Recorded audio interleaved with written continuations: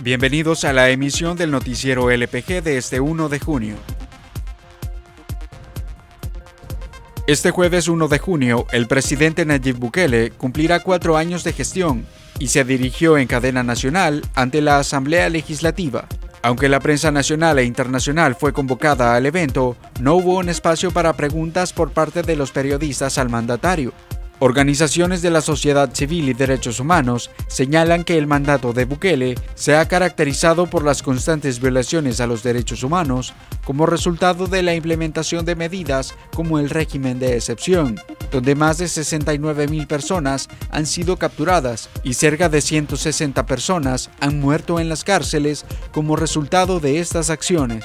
El mes de mayo cerró con 18 homicidios en El Salvador, la cifra más alta en lo que va de 2023. Esto sin contar las muertes de supuestos pandilleros que la Policía Nacional Civil no registra oficialmente, lo que incrementa a 22 el número de homicidios. Anteriormente, la última cifra más alta se registró en febrero, donde se contabilizaron 14 homicidios. En este mes también se detectó un subregistro y se contabiliza, según la PNC, cuatro pandilleros fallecidos, asesinatos donde agentes policiales estuvieron involucrados en dichas muertes.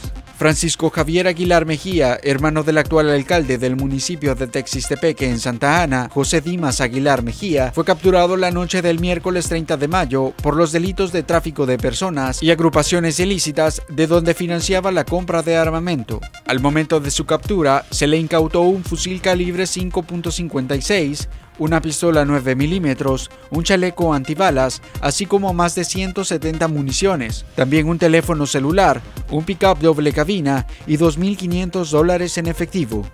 Una nueva reducción al precio del gas licuado con subsidio general en El Salvador se verá reflejada a partir de este mes de junio informó la Dirección General de Energía, Hidrocarburos y Minas. Además, la institución detalló que en el caso de subsidio focalizado, los precios se mantienen.